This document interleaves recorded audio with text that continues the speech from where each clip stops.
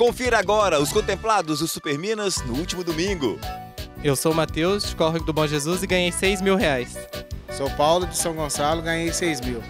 Eu sou o David de Itamonte e ganhei uma moto. Sou o Daniel de Camanducaia e ganhei uma Honda Start. Eu sou o Jorge de Três Corações e dividi o quinto prêmio. Eu sou o Domingos de Boa Esperança e eu dividi o quinto prêmio. Super Minas com você, juntos a gente faz mais!